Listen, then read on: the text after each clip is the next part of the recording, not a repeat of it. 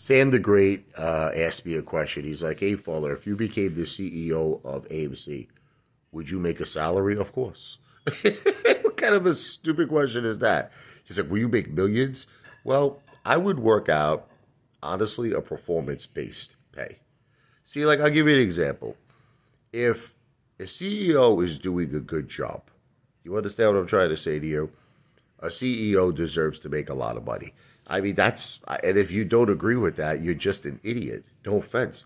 Like, you look at Elon Musk, and he made hundreds and hundreds of billions of dollars in Tesla, but he, he deserved it. He was hitting every single goal, every milestone. You know what I mean?